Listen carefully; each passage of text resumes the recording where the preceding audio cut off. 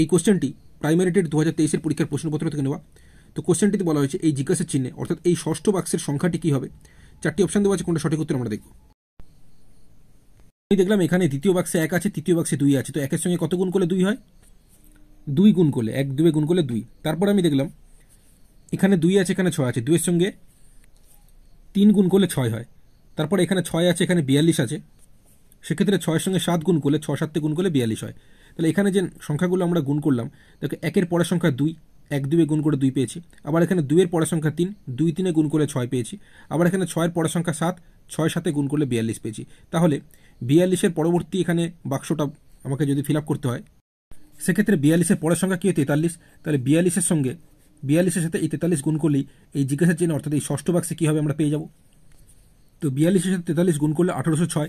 Option A হয়ে যাবে correct answer, অর্থাৎ এই ষষ্ঠ বাক্সে আঠারোশো ছয় হবে। দ্বিতীয় বাক্সে এখানে এক আছে, তৃতীয় বাক্স এখানে দুই আছে। তো আমি দেখলাম, এই একের স্কোয়ার মানে এক এক এক, তার সাথে এই এক যোগ করলেই আমরা দুই পাচ্ছি। তারপর এখানে দুই আছে, এখানে ছয় আছে। সেক্ষেত্রে একইভাবে আমি দেখলাম, এই দুই স্কোয়ার মানে দুই দুগুণে চার, তার সাথে এই দুই যোগ করলেই চার আর দুই যোগ করলে ছয় হচ্ছে। তারপর এখানে ছয় আছে, এখানে বিয়াল্লিশ আছে।